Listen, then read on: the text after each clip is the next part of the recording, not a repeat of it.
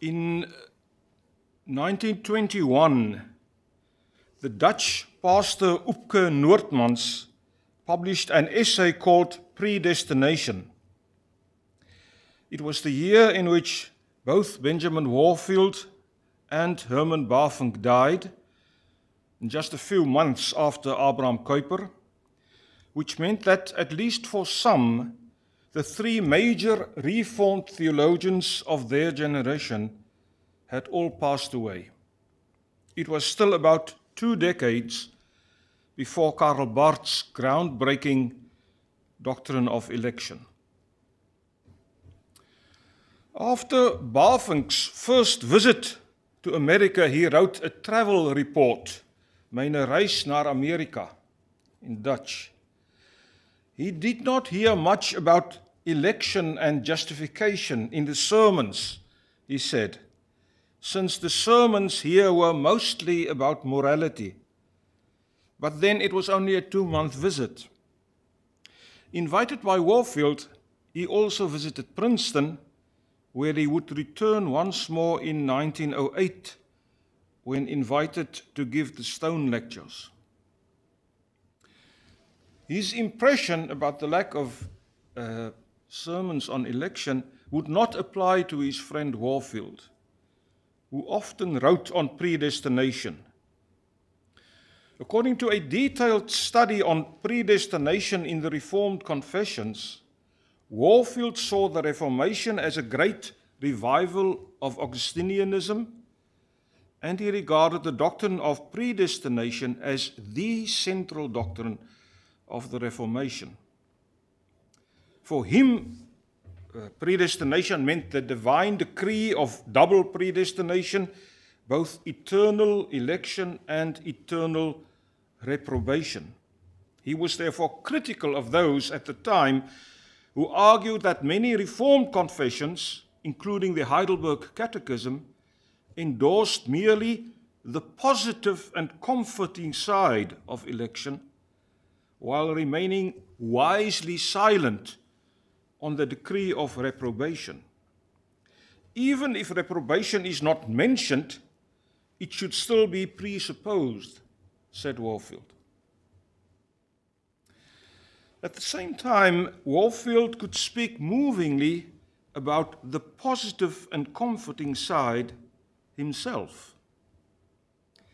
In an essay called Election, he speaks passionately about the grace by which we are saved.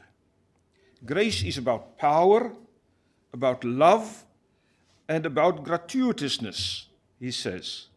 Grace is the powerful love of benevolence and very emphatically love to the ill deserving, appealing to Romans. We may sometimes feel to the urge to wonder to whom God extends this gratuitous grace and why. But these are not wise questions, he said. It is better to leave it to God to do just what God does with God's electing grace. A sermon on John 3:16 called God's immeasurable love originally preached in the chapel of Princeton Seminary also speaks remarkably about God's gratuitous love. The term world in John 3:16 is used not to suggest that the world is so big, Warfield says, but that the world is so bad that it takes a great kind of love to love it at all. The passage emphasizes that this love is a saving love, not a love merely tending towards salvation. This love is great and powerful and all conquering and attains its end, he says. Warfield admits that the text does not tell us that this love works out its end completely and with full effect on each and every person. But neither will the text allow us to suppose that God grants God's immeasurable love only to a few, abstracted from the world, while God permits the world itself to fall away to its destruction. The text does not say that God has loved some out of this world, he says, but that God has loved the world, and we must rise to the height of this divine universalism, Warfield says. It is the world that God has loved, this sinful world of ours, a declaration which could not be true, he says, if the world were lost and only a select few were saved out of it, since the purposes of God do not fail, he says. The elect are therefore not the residuum, the ashes, so to speak, of the burnt up world gathered sadly by the Creator after the catastrophe is over. No, through all history, one increasing purpose runs, he says, namely that the kingdoms of this earth become ever more the kingdom of God and Christ. The process may be slow, and the progress may appear to our impatient eyes to lag, but to our astonished eyes shall be revealed nothing less than a saved world. Some rash expositors, Warfield says, may insist that the division between essentially good and essentially bad people is an ultimate fact. But that would be a grave misunderstanding, he writes. God is saving the world, not some individuals out of the world, by a process of reformation and recreation. The new heavens and earth will not be another heaven and earth, but the old heaven and earth renewed and regenerated. Not merely the individual is regenerated, but the world fabric itself, he explains. During the process, much may be discarded, but at the completion, the world shall be saved. This wicked world of sinful human beings transformed into a world of righteousness, he says. We should therefore never measure the saving work of God by what has already been accomplished in these unripe days in which our lot is cast, since the sands of time have not yet run out, he says.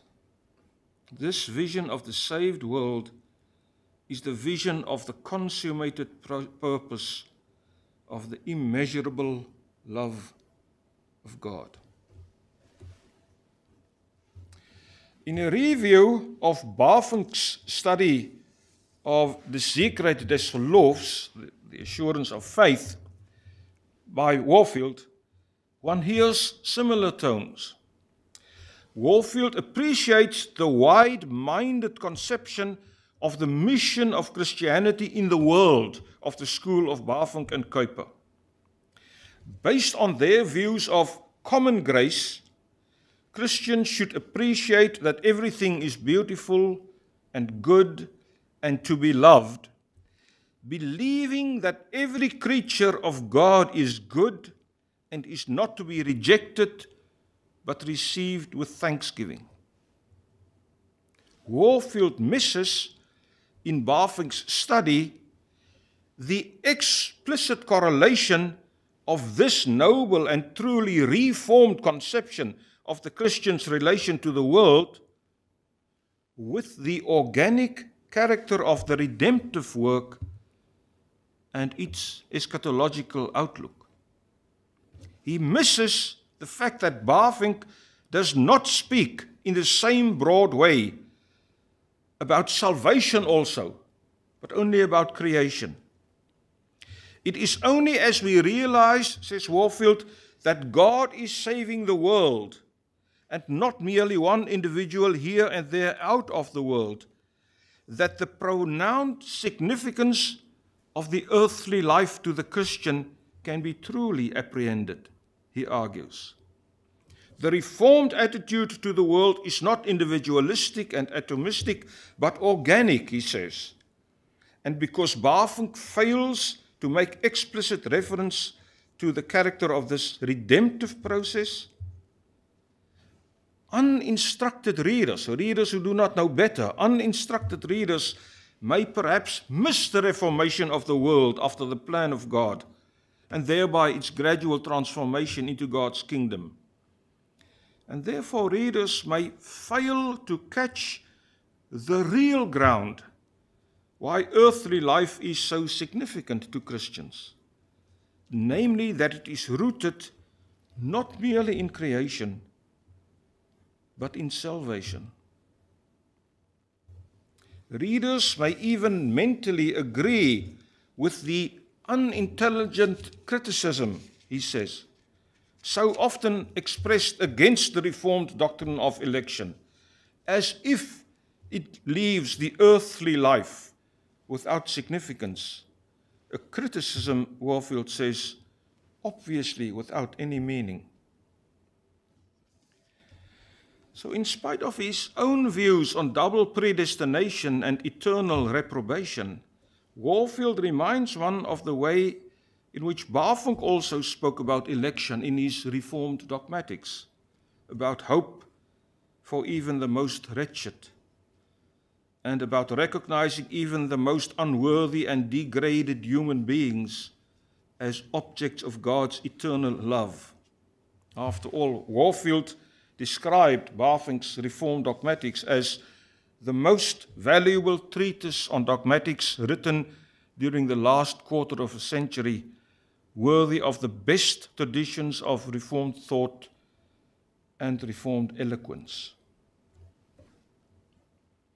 In 1921, the Dutch pastor Oepke Noordmans published an essay called Predestination. His was the voice of a new generation of Reformed theology, reclaiming the tradition of Augustine and Calvin and the doctrine of election as heart of the church. Noordmans is also concerned with the difference between election and morality, which Bavinck encountered on his brief journey in America. Election takes us beyond morality, beyond good and evil Noordmans says.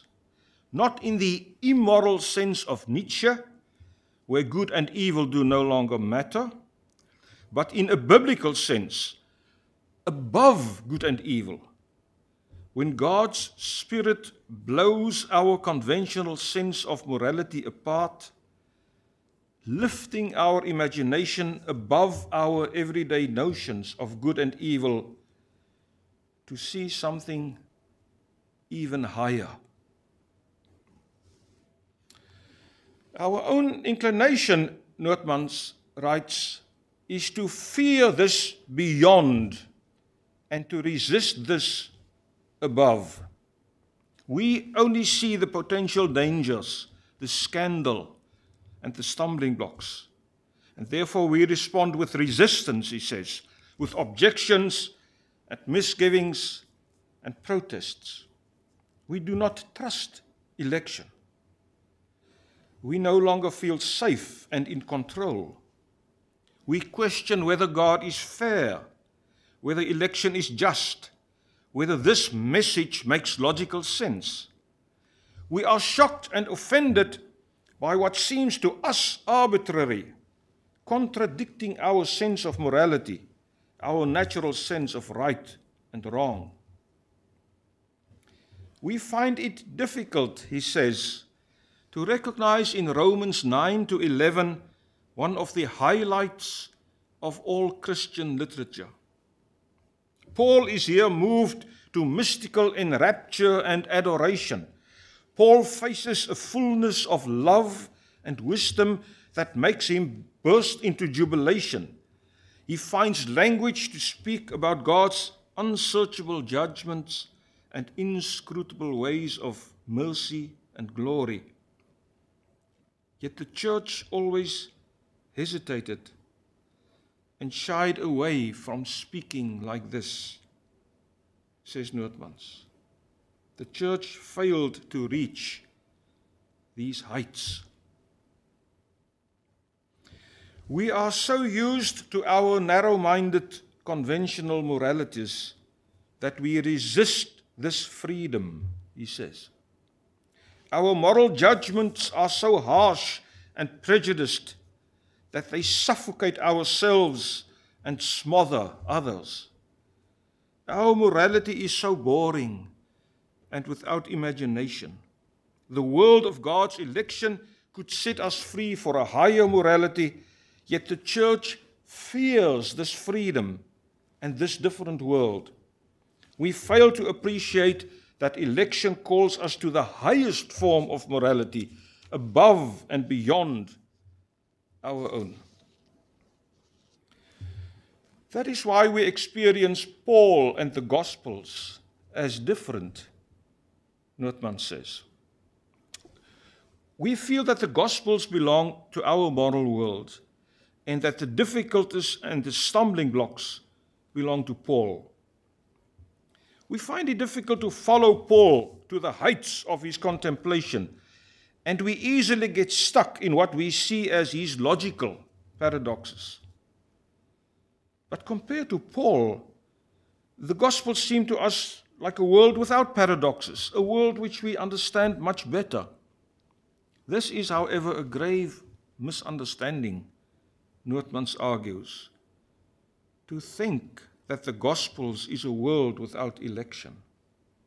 In fact, in the Gospels, we encounter election in its purest form as a complete blowing apart and radical broadening of our moral world. The Gospels, he writes, are vibrating with election, vibrating with the gratuitous mercies of God. In the Gospels, we have the most radical transvaluation of values imaginable, he says, using another notion of Nietzsche.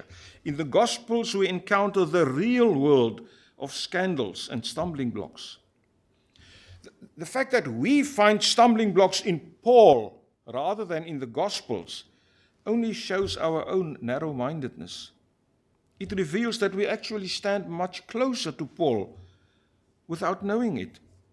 The scandals and the difficulties that we experience when we read Paul are nothing compared to the scandals and difficulties we encounter in the Gospels.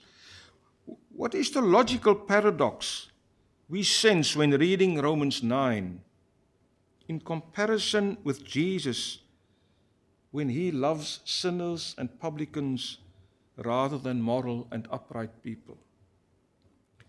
This scandal of the Gospels, this gratuitousness beyond good and evil, lies so far beyond our moral sensibilities that we just let it stand without even taking offense. It does not really disturb us. We forget to get upset, says Noordmans. We do not even sense the scandalous nature of the Gospels vibrating with election. For him, the Gospels are the real world of election and the real world of stumbling blocks. Here, God's higher morality conflicts with our small human moralities. We reduce grace to a principle, he says, and forget that election speaks about living people, real concrete people of flesh and blood. We see this election in Jesus in the Gospels, and it is something remarkable. In Jesus' welcoming of real people, we do not see indifference, neutrality, but preference for sinners, he says. The publican is for Jesus more useful in the kingdom than the Pharisee. We use our exegesis to soften these sharp edges of the gospel and to cool down this heat.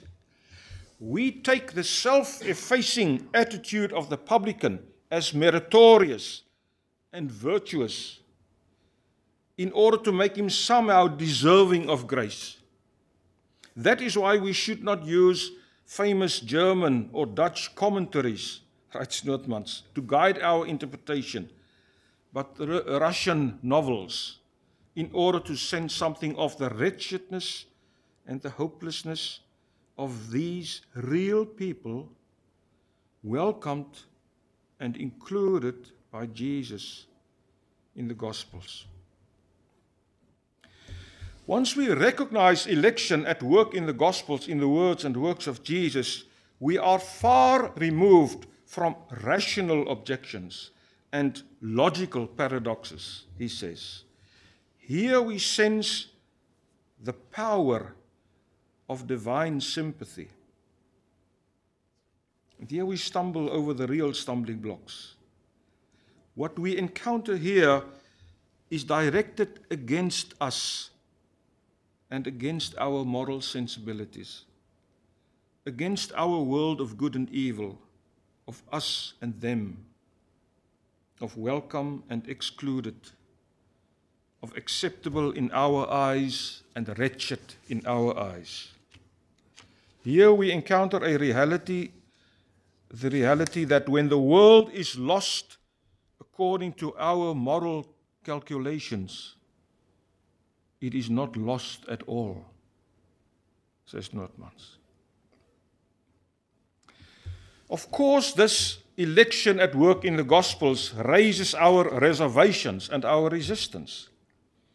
Were the objections of the eldest brother in the parable not understandable and fair? Were the incredulous and frustrated questions of those who worked long hours in the vineyard not justified? Is it not shocking and shattering to experience that Jesus is not neutral at all, but shows a special preference for those who are in need of conversion? Our well known world of morality is suddenly threatened, undermined, blown away by the storm winds of the Spirit of God. Noordmans says.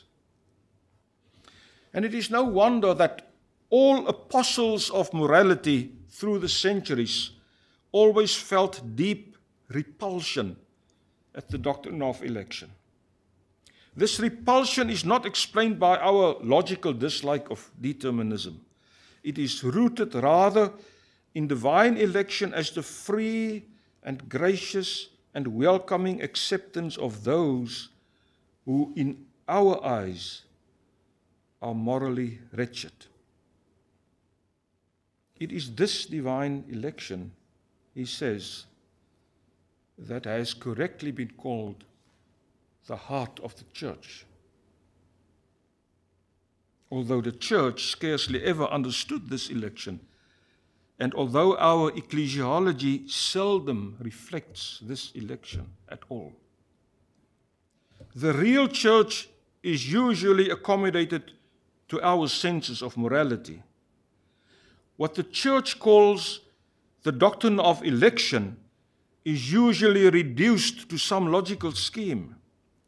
It is only on occasion that deep spiritual movements in history have challenged church and culture and made us experience something of this liberating and powerful movement of God's Spirit, bringing hope for even the most wretched, he says. 25 years later, Noordmans would return to where he broke off with these thoughts in 1921 and then develop them further in much more radical ways. In 1946, the Dutch pastor Oepke Noordmans published another groundbreaking essay. It is just after the Second World War, and he is thinking about the state of Protestantism at the time. The essay was called sinner and beggar. It was a short meditation, yet the key to a series of meditations that would follow over several years.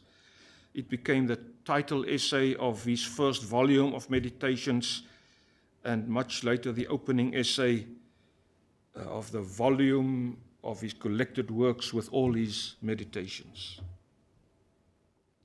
He returns to the Gospels vibrating with election. But this time the argument is even more penetrating and challenging, for many indeed now a scandal and stumbling block. His title refers to two parables in Luke's Gospel the Pharisee and the tax collector in Luke 18, and the rich man and Lazarus in Luke 16. The tax collector is the sinner, Lazarus is the beggar. He contrasts the church's interpretations of these two parables with one another. Both parables are well known, he says, yet the one about the sinner always seemed much more relevant to the church than the one about the beggar. Every Sunday, churches sit full of sinners but beggars are seldom seen. When we hear the first parable, we immediately know that it concerns us. When we hear the second, we think of others. And it seems to him in 1946, at the time, as if God is changing all of that. God is giving the parable from Luke 16 an immediate relevance that is bringing many to new spiritual insight and experiences. Many are beginning to grasp that physical need may be more closely related to salvation than they ever assumed. This is his argument, this is the thrust of his comparison. The church has traditionally interpreted these two parables in different ways without be even being aware, he says. The two characters uh, in the, the one parable are normally seen as related to one another, since the actions of the tax collector serve as judgment on the Pharisee. In the other parable, that is not the case the harsh way in which Lazarus is painted does not lead the church to judgment on the rich man at whose gate the poor figure is lying. The high and mighty spirit of the Pharisee has something to do with salvation, but not the high and luxurious lifestyle of the rich man, he says. The tension between the two figures in Luke 18 has always intrigued the church uh, as the tension between sin and grace from Paul to the canons of Dort, says Noordmans. Yet between the two figures in Luke 16, the church hardly ever saw any tension. It is almost as if the great chasm between them later on in the parable, in the bosom of Abram, of that chasm already exists here on earth as well, while they are both alive, so that they have nothing to do with one another, rich man and Lazarus. The chasm seems to the church to exist by providence. There is nothing to do about that. It is simply the case. The one is rich, the other is a beggar.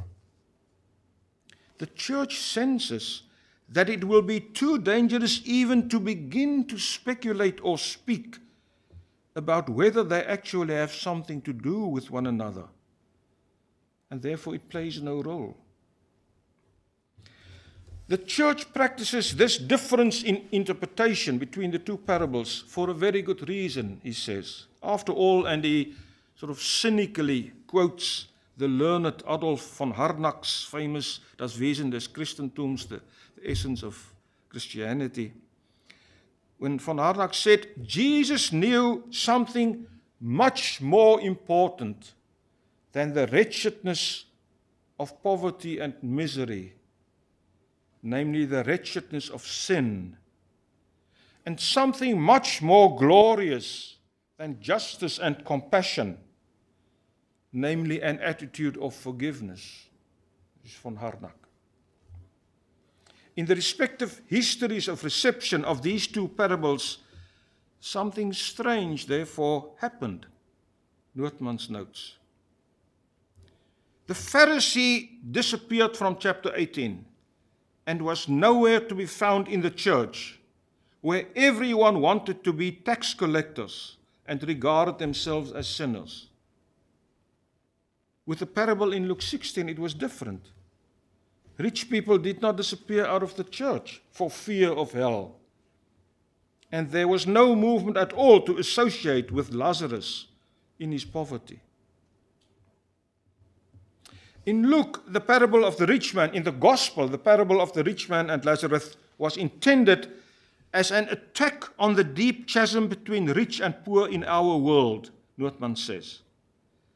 For Jesus, there is some form of link between the great chasm in the afterlife and the great chasm here and now between the rich man and Lazarus. The chasm at the end of the parable would not have been there were it not for the chasm at the beginning of the parable. In Luke, the parable is intended to challenge that and to change that. Abraham even says that the living know this very well. They do not need more information or persuasion since they can see what is at stake, if only they wanted to see. Yet, argues Noordmans, the church found a way. He calls this natural theology. To ignore this intention of the parable because they did not want to see. The church uses the doctrine of providence to argue that the great chasm between the rich man and beggar is natural, simply a given, a fact, the way of life, which cannot be changed and should not be challenged. The church is more concerned with the sins of the tax collector than with the wounds of Lazarus. In Dutch, Noordmans uses a wordplay sins and wounds are zonden and wonden. The church cares more about the zonden than the wonden. This comparison leads him to rhetorical questions with radical implications. Is the church actually proclaiming the full gospel? Does Lazarus really have to receive salvation in the same way as the sinner? Is the church not preventing many from entering the gates of heaven? Should we really read the Gospels through the lenses of Paul and Luther and expect of Lazarus to become like a tax collector? For so many in our world, he says, the conflict between rich and poor is much more existential and much more real than the conflict between pride and humility. He can hardly imagine that Jesus saw the beggar in Luke 16 as a potential Pauline Christian. It would be anachronistic, but it would also be false, preposterous, and absurd, he says. According to Luke, Lazarus believed with his sores, with his total wretchedness. His poverty and his wretchedness brings him in heaven. Wretchedness in Dutch, ellende, the same word that Bavinck used uh, in the first lecture. In the gospel, material need is directly related to the coming of God's reign. God is teaching the church of their time this truth once again in new ways, Noordmans claims. God is breaking down the bulwarks of their natural theology. God is calling attention to Lazarus, attention for the beggar in addition to the sinner. There are two forms of wretchedness and misery, he says darkness for the soul and darkness for the body. They do not always go together and may even exclude one another. There can be physical wretchedness and misery and suffering that occupy people so much that they find no room or time for inward disciplines. Beggars do not have to feel themselves sinners. Their misery may take the place of their sin, he says. There is in the Bible also a gospel of the poor that also needs to be proclaimed. The two messages together form two sides of the same proclamation of God's election and God's grace and God's reign. The church has often neglected the message of the comforting Christ, he says. The church are full of miracles, the gospels are full of miracles and healings which hardly play any role in the church's proclamation and life. However, God is touching their lives in remarkable, even bewildering and embarrassing ways, he concludes. The church is learning that there is more in the gospel than what the church has already understood.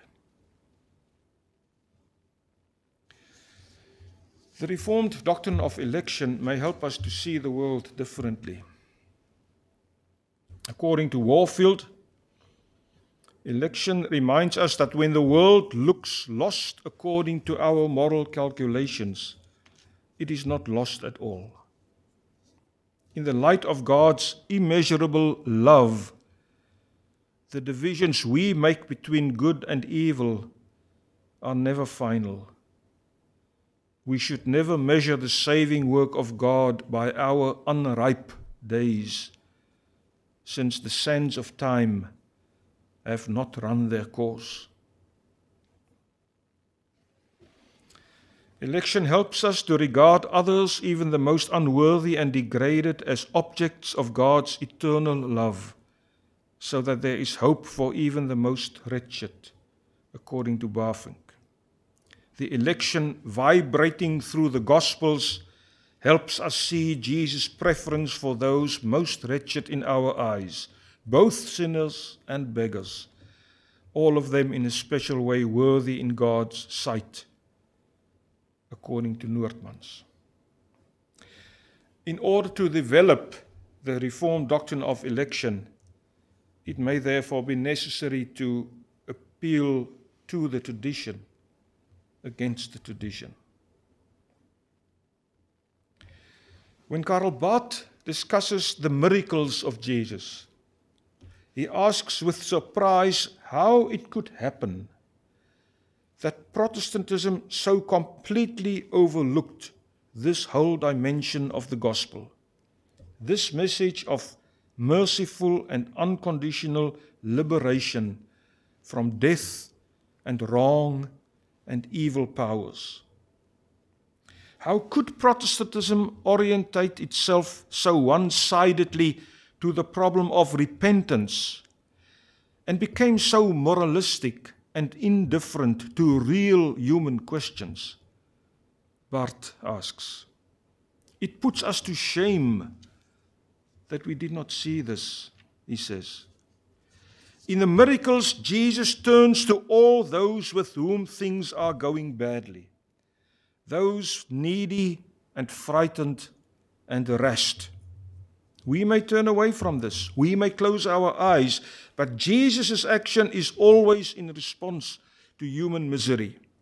He finds and sees people in the shadow of death, and his miraculous action brings them out of the shadow, frees them from the prison, unburdens them, releases them. They can be people again whole people in the most elemental sense. In this, God is glorified. God places God's self at the side of God's creatures. That which causes suffering to human beings is also painful and alien to God's self, Barth says. God does not will whatever troubles and torments and disturbs and destroys human beings. The sorrow which openly or secretly fills the heart of people is primarily in the heart of God. The shame which comes on people is primarily a violation of God's own glory. The enemy who does not let people breathe, harassing them with fear and pain, is primarily God's enemy. Jesus defies the powers of destruction which enslave people, and the miracles reveal the power of mercy, not quiet and passive, but active and hostile to those destructive powers on behalf of wretched people. This is how the Reformed tradition, on occasion, spoke about election and saw the world differently, so that no one may lose hope, not even the most wretched in our eyes. John Calvin spoke the same way and called the church to see in others something that we simply cannot see with our natural eyes. The Lord enjoins us to do good to all without exception, though the greatest number of human beings, if estimated by their own merit, may be most unworthy of it in our own eyes, Calvin said. Scripture tells us not to look at what people in themselves deserve, he says, but to attend to the image of God, which exists in all, and to which we owe all honor and love. Therefore, whoever that person may be that needs our assistance, we have no ground for declining to give it to them. Say it is a stranger, Calvin says. Then the Lord has given that person a mark which ought to be familiar to us, since God forbids us to despise our own flesh. Say that person is mean and of no consideration, he adds. Then the Lord still points him or her out to us as one whom God has distinguished by the luster of God's own image. Say that we are bound to those people by no ties of duty then the Lord has substituted himself, as it were, into their place, so that in them we may recognize the obligations we owe to the Lord himself. Say that these people are unworthy of our least exertion. Then the image of God is still worthy of all our exertion. Even if such persons have provoked us by injury and mischief, he says, Still, this is no good reason why we should not embrace them in love. That person has deserved very differently from us, we may object. Yet, precisely in this way, we may attain what is not only difficult, but altogether against nature, namely to love those that hate us, to render good for evil, blessing for curse remembering that we are not to reflect on the wickedness of people, but to look to the image of God in them, an image which, covering and obliterating their faults, should by its beauty and dignity allure us to love and embrace them. Still earlier, Martin Luther already spoke the same way and called the church to see in others something that we simply cannot see with our natural eyes. The final theological thesis of the Heidelberg Disputation, thesis 28, uh, in which he developed his theology of the cross, claimed that God's love does not find, but creates that which is pleasing to it.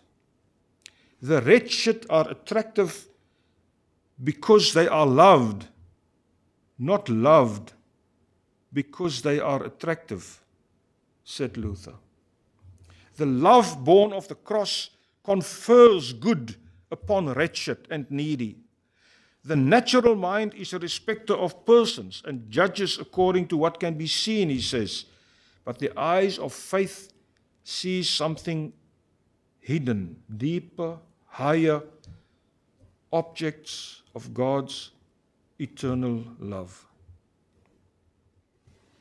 This would become his famous definition of faith when he discussed the well known Hebrews 11. Haec enim est natura fide, uh, fidei, natura videre quod non videt, et non videre quod videt. The nature of faith is to see what we do not see and not to see what we do see. Faith is to see the unseen, the not yet visible, and thus not to see what our natural eyes do see, to see differently. Hebrews 11 says of the parents of Moses that they were hiding the baby by faith because they saw that the child was beautiful. Verse 23. And thereby showing, he adds, that they were not afraid of the king's edict of the very real and visible powers of the rulers of their day. The author obviously did not mean that the child was beautiful in the way that all infants are beautiful, because this would not illustrate the point, the argument. No, they saw something in the baby that normal human eyes could not see, something that only hope could imagine. Calvin said that they saw some future excellency the promise of something extraordinary. They were inspired by the hope of an approaching deliverance, looking at the baby. One can almost hear the, the as if of the future in his words. Through faith, they saw a beautiful future which was not yet there to be seen, but was worthwhile acting upon as if it were already real and true. That is the reason, says Hebrews, why they did not fear the powers and refused to obey the king. Of course, they feared the king's power. But this invisible beauty was stronger than their fear. On the one hand, all of this reflects a way of seeing and speaking that we know well in our time. The sociologist Hans Joas published what he calls an alternative genealogy of human rights called The Sacredness of the Person. And he tells the story how the widespread respect for human dignity and human rights today gradually developed through a process in which we have learned to see people differently, irrespective of who they are, and to respect their sacredness. We have learned not to harm and not to wrong them and not to deny them their inherent dignity.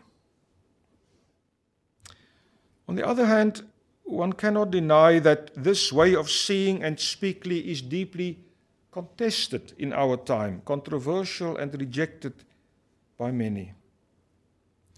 Political theologians often struggle with the reality that many of us see our so called neighbors as threats and dangers. They often engage with Freud's argument in Civilization and its Discontents that the command to love our neighbor is unnatural. It inhibits and oppresses our feelings of desire and competition and aggression. Like Calvin, so many in our time agree that loving the neighbor is not only difficult, but altogether against nature. And many then draw opposite conclusions than Calvin. In his Trouble with Strangers, the British literary critic and social commentator Terry Eagleton analyzes how difficult it is for us to live with others. He calls his book A Study of Ethics and argues that a radical theological version of the Judeo Christian tradition provides a richer ethics to deal with these difficulties than contemporary ethical theories. It may well be a dismal sign of the times, he says, that it is to the science of God of all things that we must look for such subversive insights, but there is no reason to look a gift horse in the mouth. Could it perhaps be possible from a reformed perspective to say that without the radical language of the doctrine of election, with which our tradition sometimes spoke, our world would indeed have looked much different, full of trouble and full of strangers, yes, monsters, enemies, wretched others whom we would rather not accept and welcome and embrace, whom we would prefer to keep apart, separate, outside our walls.